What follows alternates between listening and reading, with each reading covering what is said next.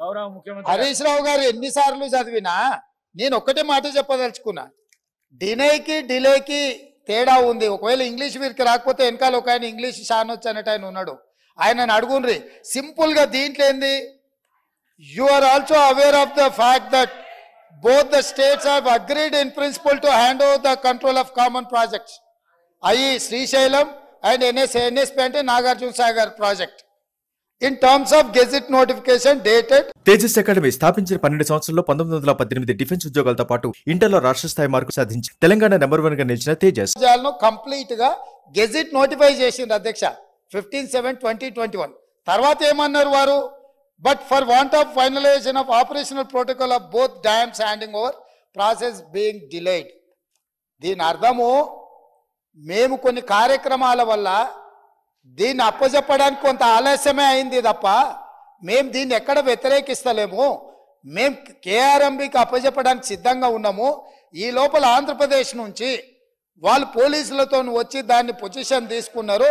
దీన్ని తక్షణమే మీరు పరిష్కరించండి అని చెప్పి మీరు కేంద్ర ప్రభుత్వానికి లేఖ రాసి డిసెంబర్ ఒకటి నాడు ముప్పై తారీఖు నాడు పోలింగ్ జరిగింది. మూడు తారీఖు నాడు ఫలితాలు వచ్చినాయి. ఒక్కటి తారీఖు డిసెంబర్ నాడు స్పష్టంగా ఆనాటి ముఖ్యమంత్రి మరియు సాగునీటి పారుదల శాఖ మంత్రి కల్వకుంట్ల చంద్రశేఖరరావు గారు వారి ప్రిన్సిపల్ సెక్రటరీ సాగునీటి పారుదల సెక్రటరీగా అఫీషియల్గా వీళ్ళు లెటర్ రాసి ఇన్ని రోజులు ఇన్ని నీతులు చెప్తున్నాడు కదా ఇన్ని రోజులు మా స్మితా సబర్వాల్ గారు ఈ రకమైన లేఖ రాసిండ్రు మా ప్రభుత్వ విధానము అని ఎప్పుడైనా చెప్పినా ఈరోజు ఉత్తమ్ కుమార్ రెడ్డి గారి లేఖ తీసుకొచ్చి బయట పెట్టినాక ఇప్పుడు మాట్లాడుతున్నారు. ఏంది? అవును మా స్మితా సబర్వాల్ గారు లేఖ రాసిండ్రు మా ముఖ్యమంత్రి గారి ఆలోచననే ఇది అని. ఇప్పుడు నేనేం అడుగుతున్నా అధ్యక్ష అంటే వీళ్ళను? వీళ్ళ బాధ ఏంది అసలు? ఇప్పుడు అపజెప్పద్దనా వద్దని మేము అన్నప్పుడు తీర్మానం చేసినప్పుడు చర్చలకు శశపిశలకు తావెక్కడిది? నూటికి నూరు శాతము ఈ ప్రభుత్వం ప్రతిపాదించిన ఉత్తమ్ కుమార్ రెడ్డి గారి సభలో ప్రవేశపెట్టిన తీర్మానానికి అన్కండిషనల్గా మేము మద్దతు ఇస్తున్నాము. పదండి ఢిల్లీకి పోదాం కొట్లాడదామని వాళ్ళ నోటి నుంచి వస్తలేదు ఎందుకు అధ్యక్ష? అసలు వాళ్ళ నాయకుడు ఎందుకు రాలేదు? ఎందుకు ముఖం చాటేసిండు? అంటే ఈరోజు ఇక్కడికి వస్తే వీళ్ళకి ఎవరికి అధ్యక్ష పార్టీలో. వీళ్ళ మాటకు విలువలేదు మనుషులకు విలువ లేదు పార్టీ యజమాని ప్రతిపక్ష నాయకుడు వారు వచ్చి మాట్లాడాలి ఇక్కడ. వారు ఎందుకు ఈరోజు ఇంత ముఖ్యమైన కృష్ణానది జలాలకు సంబంధించి శాశ్వతంగా తెలంగాణ రైతాంగం జీవితాల మీద మరణ శాసనం రాసే పరిస్థితులు ఉత్పన్నమైతే వారు సభలోకి రాకుండా ఈ సభలో జరుగుతున్న చర్చలో వారి అభిప్రాయం చెప్పకుండా వీరు చెప్పే అభిప్రాయానికి ఎలాంటి విలువ లేదు. వీళ్ళు ఎంతసేపు మాట్లాడినా ఈ మాటలకు ఈ చర్చలకు ఏ మాత్రము చట్టబద్ధత లేదు. కాబట్టి ఇప్పటికైనా మీరు వారికి సూచన చేయండి లేకపోతే సభ వాయిదా వేయండి. చంద్రశేఖరరావు గారిని సభలోకి రమ్మనుండ్రి.